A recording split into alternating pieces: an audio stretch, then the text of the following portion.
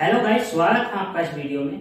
देखिए, आज हम पढ़ेंगे प्रेजेंट परफेक्ट कंटिन्यूस टेंस देखिए, हमारी जो सीरीज़ चल रही थी, मैं उसे दोबारा से कंप्लीट करना चाहता हूँ। मैंने कुछ दिनों से आपके लिए वीडियो नहीं बनाए हैं, उसके लिए मैं आपसे माफ़ी चाहूँगा। तो हम उस सीरीज़ को दोबारा से शुरू करेंगे। तो देखिए प्रेजेंट परफेक्ट कंटिन्यूस टेंस में हम पढ़ेंगे आज नेगेटिव सेंटेंस जिन्हें हम नकारात्मक वाक्य बोलते हैं। तो देखिए, नकारात्मक वाक्य कौन से होते हैं? नकारात्मक वाक्य वो वाक्य होते हैं जिनमें नहीं का प्रयोग किया जाता है। जिनमें नेगेटिव सेंस होता है। जैसे, मैं दो बजे से नहीं खेल रहा हूँ। तो देखिए, इसमें नहीं आ रहा है, जिससे ये पता लग रहा है कि ये नेगेटिव सेंटेंस है। और नेगेटिव सेंटेंस बनाने के लिए हम एक स्पेशल रूल फॉलो करेंगे, जिनकी मदद से हम इन सेंटेंसों को बहुत आसानी से बना पाएँगे। तो देखिए, हम रूल देख लेते हैं रूल क्या होता है।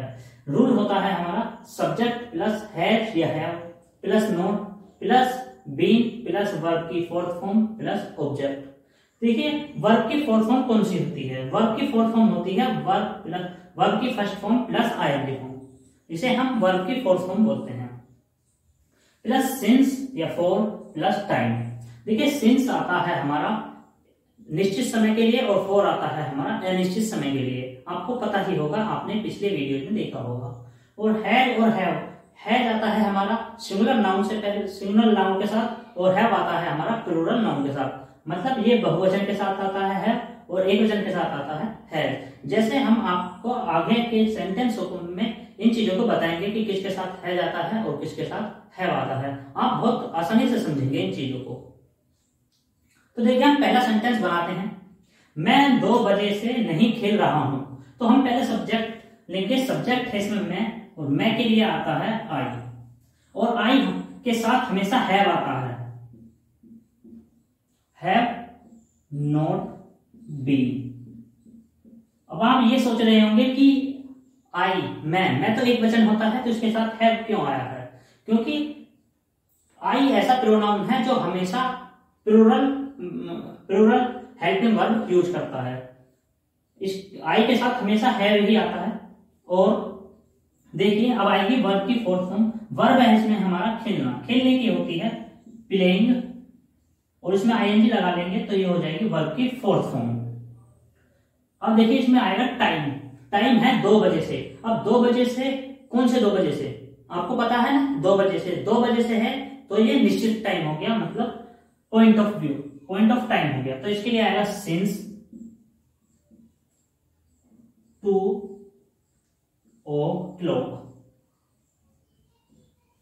ओ क्लॉक बजे के लिए आता है since two o'clock I have not been playing since two o'clock ठीक है? अब हम नेक्स्ट सेंटेंस देखते हैं। सीमा एक घंटे से कपड़े नहीं धो रही है। तो इसे हम बनाएँगे। सबसे पहले सब्जेक्ट आएगा। सब्जेक्ट है हमारा सीमा, और सीमा लिखेंगे हम। सीमा के साथ आएगा हैज़, क्योंकि सीमा एक लड़की है, इसलिए इसमें हैज़ आया है। Has not been. अब देखिए इसमें वर्ब की फोर्थ फॉर्म आएगी। वर्ब क्या है इसमें? धोना। धोने को हम इंग्लिश में बोलते हैं वॉश। और इसमें लगेगा आईएनजी। वॉशिंग ये होगी हमारी वर्ब की फोर्थ फॉर्म।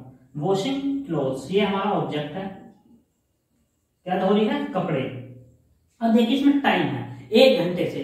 हमको ये नहीं पता है कि कौन सा एक घंटा है। इसलिए ये हमारा अनिश्चित समय होता है और अनिश्चित समय के लिए आता है फोर। तो हम करेंगे for an hour. Seema has not been washing clothes for an hour next sentence देखिए, तुम चार साल से खाना नहीं बना रही हो। तो हम सबसे पहले सब्जेक्ट लेंगे। सब्जेक्ट है हमारा इसमें यू और यू के साथ आएगा हैव क्योंकि ये एक प्लूरल है, और नोट बी अब आएगी इसमें वर्ब की फोर्थ फॉर्म वर्ब है इसमें बनाने बनाने की हम मेक लगा लेंगे. कुकिंग भी कर सकते हैं. मेकिंग फ़ूड अब देखिए इसमें आएगा टाइम टाइम है चार साल से. अब कौन से चार साल है? ये हमें नहीं पता है तो ये हमारा अनिश्चित समय है, और अनिश्चित समय के लिए हम लगाते हैं फोर फोर फोर ईयर्स तुम चार साल से खाना नहीं बना रही हो। You have not been making food for for are for years तो देखिए, इसमें मेकिंग जो है, ये वर्ब के फोर्थ फॉर्म है और फोर है इसमें ऑब्जेक्ट और फोर ये हमारा इसलिए आया है क्योंकि हमें ये पता नहीं है कि निश्चित समय है या निश्चित समय तो हमें पता लगा कि ये फोर ईयर्स ये हमें नहीं पता है तो ये हमारा अनिश्चित समय है इसीलिए इसमें फोर का प्रयोग हुआ है। आगे नेक्स्ट सेंटेंस देखिए। तो देखिए, इन वाक्यों को और देखिए, कि इन्हें हम कैसे बनाएँगे। तो देखिए, यह लड़की सुबह से नहीं पढ़ रही है। तो देखिए, इस वाक्य को हम कैसे बनाएँगे? आप वीडियो पोज करिए और आप भी बना के देखिए और कमेंट में आंसर्स दीजिए। तो देखिए, हम कैसे बनाते हैं। इसमें सब्जेक्ट है, यह लड़की। तो यह लड़की के लिए आएगा। दिस गर्ल यह लड़की मतलब एक लड़की है तो एक वचन के साथ क्या आता है? हैज़ तो हम करेंगे हैज़ नोट बी वर्ब है इसमें पढ़ना। अब पढ़ने की आती है रीड और इसमें आईएनजी लगाने के बाद ये हो जाएगी वर्ब की फोर्थ फॉर्म अब देखिए इसमें ऑब्जेक्ट नहीं है। तो इसमें हम लेंगे टाइम टाइम क्या है? सुबह से। सुबह से हमें पता है, ये एक निश्चित समय है। तो इसके लिए हम लगाएँगे since since morning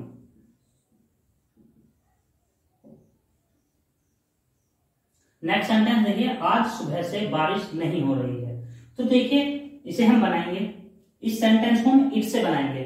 आपने अगर देखा हो इंट्रोडक्टरी इट जब इंट्रोडक्ट इंट्रोडक्टरी सब्जेक्ट होता है तो उसमें हम इट का प्रयोग करते हैं। बारिश के साथ हम इट का प्रयोग करते हैं। अगर आपने वो वीडियो नहीं देखी है तो आप डिस्क्रिप्शन में जाकर उसका लिंक आपको मिल जाएगा और आप उस वीडियो को देख लीजिए। तो देखिए कैसे बनाएँगे हम इसे। इसे हम बनाएँगे इट हैज़ नोट बीन वर्षा होना मतलब बारिश होना, इसकी हम वर्ब लगाते हैं रेन और इसमें आईएनजी लगाकर हम इसे वर्ब की फोर्थ फॉर्म कर लेंगे। अब देखिए, इसमें टाइम है सुबह से। तो सुबह से के लिए आएगा सिंस मॉर्निंग क्योंकि ये एक निश्चित समय है।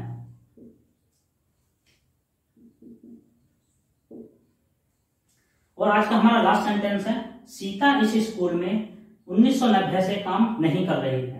तो देखिए इसे हम कैसे बनाएँगे? इसमें हम सब्जेक्ट है Sita. Sita has not